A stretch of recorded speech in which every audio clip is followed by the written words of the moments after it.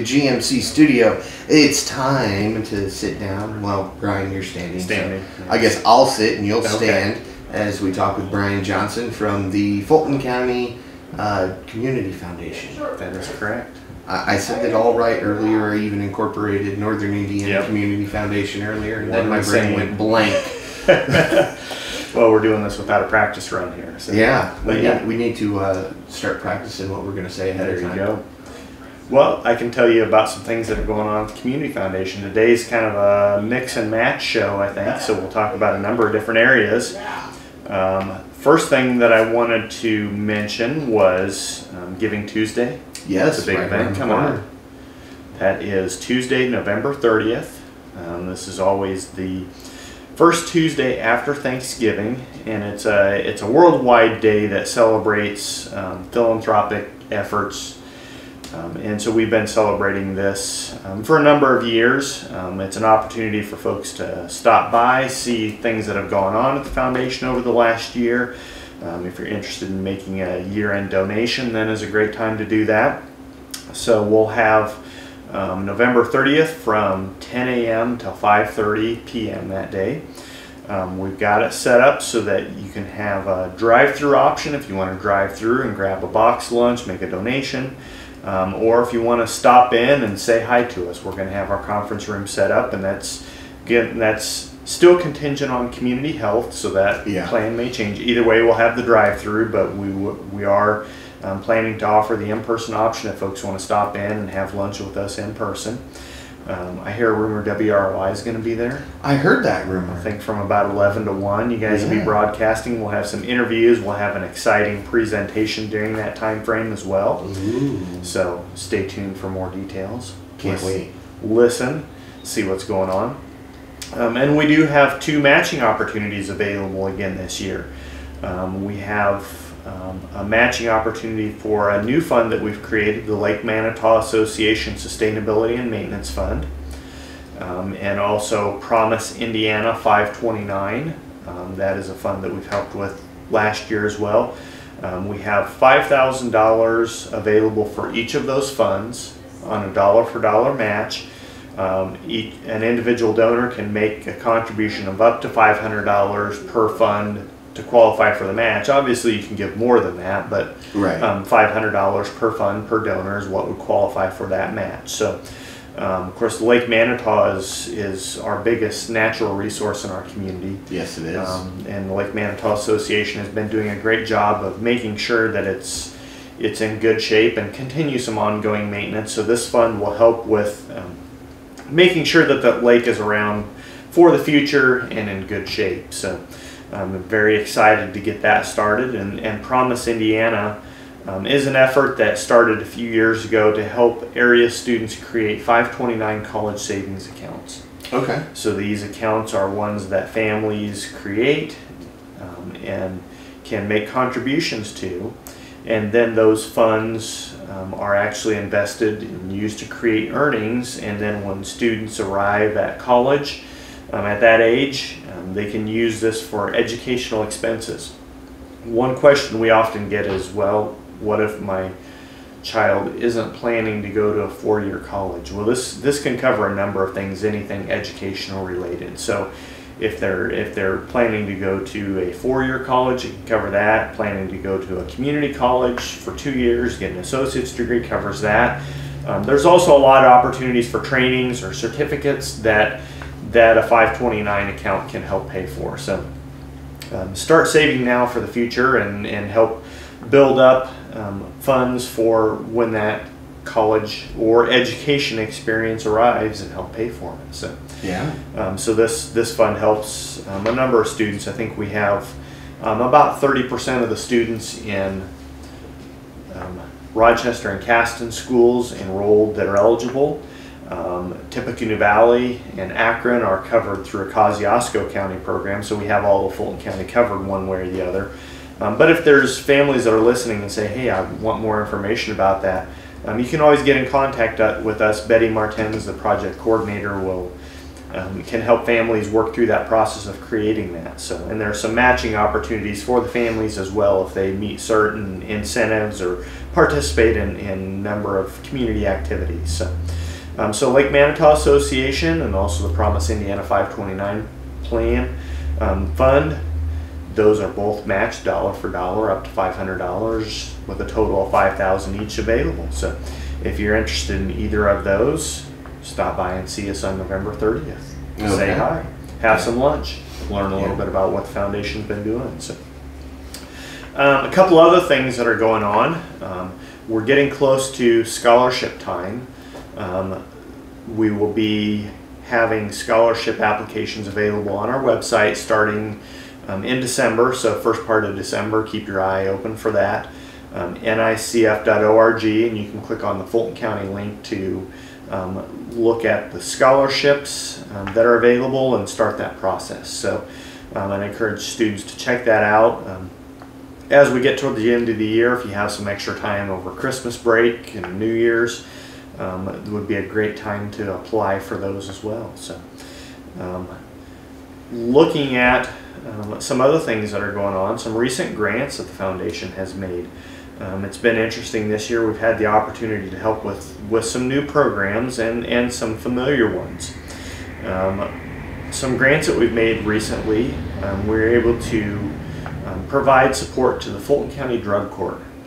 Um, this is something that's been interesting as we've seen develop and, and be successful. Um, the concept is that you help folks work out of a bad situation. Right. You don't just say, okay, this is the crime, here's the punishment, you'll spend your time in jail. This this is something that has helped people work through it. There's some some incentives, some extra testing, some some support um, to really have the goal of helping somebody um, work out of maybe a bad situation they may find themselves in. So this has been exciting to see how this has developed. Of course, over the last year, we've been able to support a number of recovery-focused programs, things like um, the Celebrate Recovery programs that are going on, um, Recovery Cafe, Intrepid Phoenix. Um, we're able to participate in a Road to Recovery event earlier this spring. And um, this is just another one of those tools that's available to help folks really recover from a situation that may not be ideal. Okay. Instead of instead of just saying, "Hey, you've done it, you got to pay for it. You, here are the results." Um, helping folks work out of that situation. So really exciting to help there.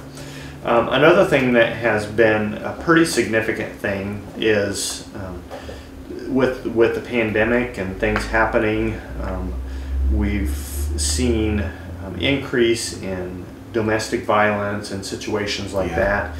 that. Um, we don't have a facility in Fulton County that serves Fulton County residents, but Kosciusko County has the Beaman Home.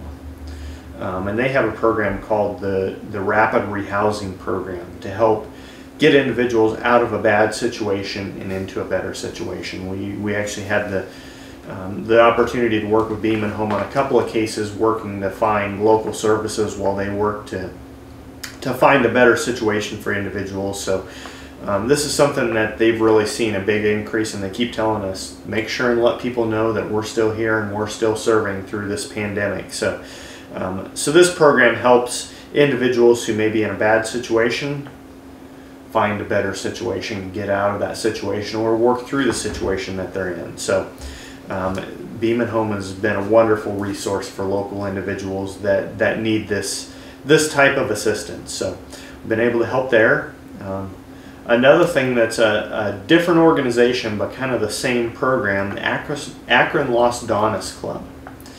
Um, they are putting together a series of community concerts and entertainment for 2022 over in the Akron area. Um, so, looking forward to some bands and some um, exciting community events. Of course, for a number of years, the Akron Area Art League had, had been able to help with this program.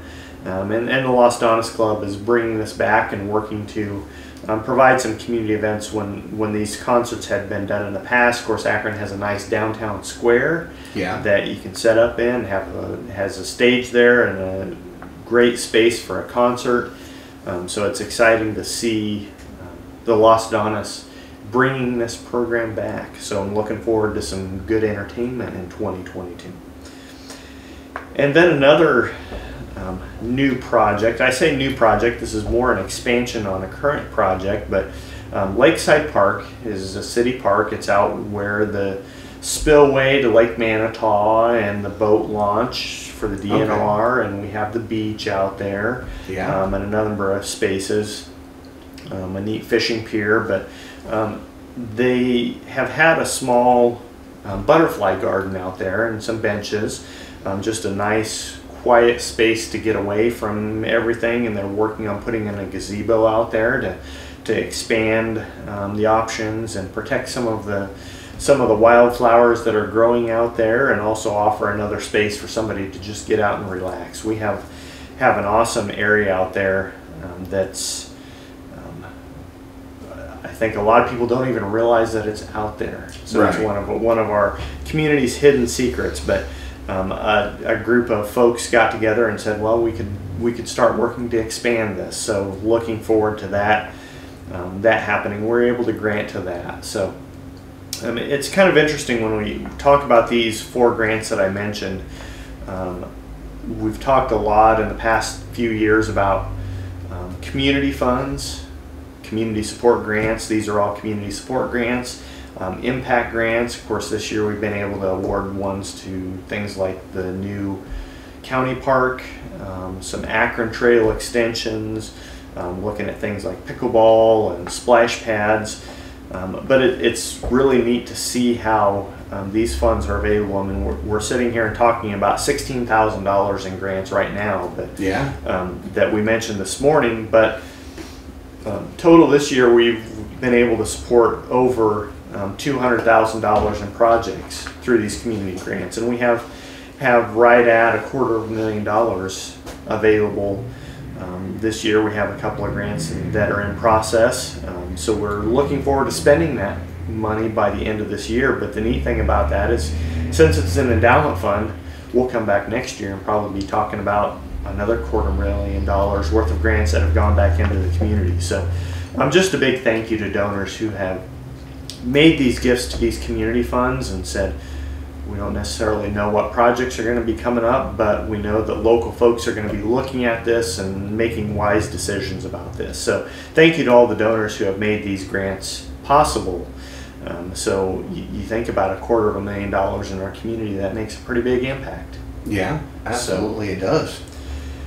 Um, something else that I wanted to mention, of course, it's the middle of November, Yes. almost Thanksgiving. Yes. Then another holiday after that, and then we have New Year. So, um, just remind folks about um, end of year giving.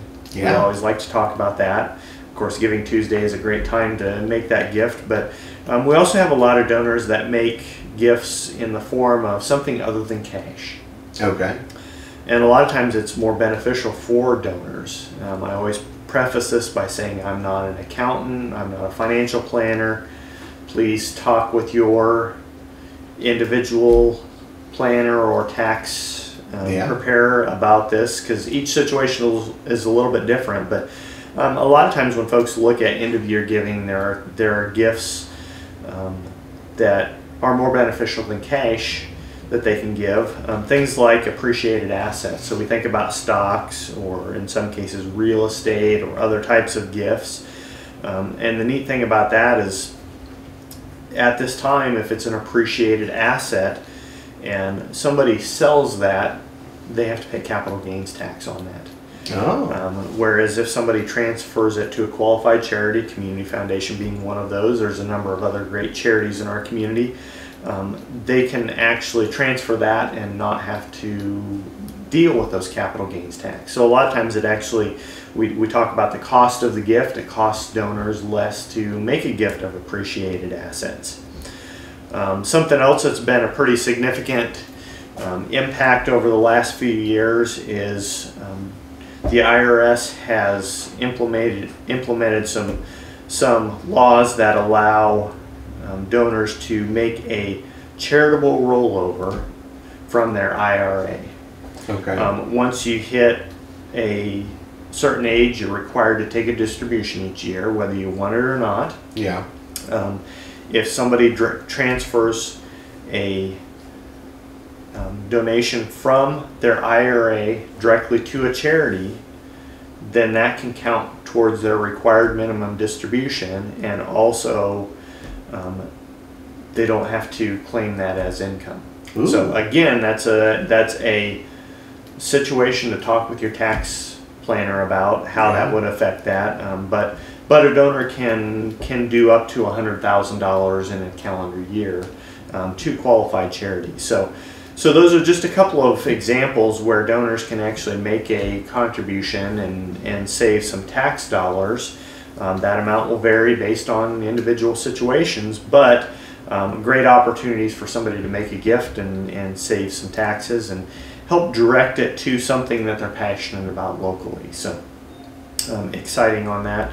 Um, the last thing that I wanted to mention is um, just kind of some logistics things about the Community Foundation. We're in the process of implementing a new software database. Okay. Um, it's kind of exciting in a headache kind of way at first, Yeah, but I know exactly. um, we're mean. looking we're looking forward to this being a a better um, service to our donors. Um, so in the future, fund founders will be able to actually get online and be able to look up information about their fund, uh, make it a more seamless process for the donors. Um, donors that have donor advised funds will actually be able to make recommendations of grants online. Um, we don't have this all implemented yet, but we're working on it. I just want to let everybody know that that will be coming up. Um, we'll have the opportunity for donors to actually um, receive information by email instead of right now we mail out paper statements, which some folks prefer. We'll still have that option if somebody prefers that. Um, but um, with the online system, it'll it'll give us opportunity to be able to share even more information with donors and, and then be able to look at things real time. Right now, we can we can still see things real time, but a lot of times somebody will have to call in and say, "Can you give me information about this?" But we're excited this being an opportunity for donors to actually be able to interact with it in the future. So, so again, stay tuned for more details. Um, if if you have a fund with us, look for some information coming in the near in the next few months as we make these implementations about um, new opportunities for you to be able to be involved and, and see how this process works. And we're hoping that this is a positive change. It's it's something that's been overdue for a while, and, and we're looking forward to offering an even better service to donors um, who want to make an impact. So. Same, same grants though. We'll still be making grants. We'll still be doing everything that we've done. It's just a, a little bit more opportunities for folks to see information about their funds. So, Yeah. Yeah. so anyway, so that's our mix and match. Can we call it a variety show? Sure can. All right. Hey, this is I think this is, was the first ever Community Foundation variety show. So Yes. just a couple of reminders about things coming up. Of course, the scholarships start looking in December um, on our website, nicf.org, um, for applications available. If you have questions or concerns about that, don't hesitate to reach out to us. Allison Heidi, our scholarship coordinator, is always happy to, to help folks through the process. Um, end of year giving coming up, so be planning for that. Giving Tuesday, we're going to close with that November 30th, 10 a.m. to 5:30 p.m. We'll have lunch available. We'll have a live broadcast on WROI. Um, we'll have matching available for the Lake Manitou Association Sustainability and Maintenance Fund and the Promise Indiana 529 Fund. Um, if you can't make it in that day, we do have the opportunity for online giving. So um, if you want to do that, we welcome those types of year-end gifts as well. So, and we will be looking forward to seeing everyone on November 30th, celebrating some of the things that donors have helped us do throughout the past year, and um, celebrating really another wonderful year in our community. Looking forward to it. Uh, I know it's going to be a good time, and Giving Tuesday is one of my favorite holidays. Well, So that's the word we aim to please. So, if folks have questions about anything we talked about, of course, you can find us online, nicf.org. Um, you can like us on Facebook. um, Northern Indiana Community Foundation on Facebook. Um, give us a call, 574 224 3223, or stop by our office at 227 East 9th Street here in Rochester. We'd love to talk to you about any questions or ideas you have for our community. All right, Brian, thank you so much. Uh, we'll see you again in December after Giving Tuesday. Looking forward to it. All right, thanks so much. Thanks, Paul.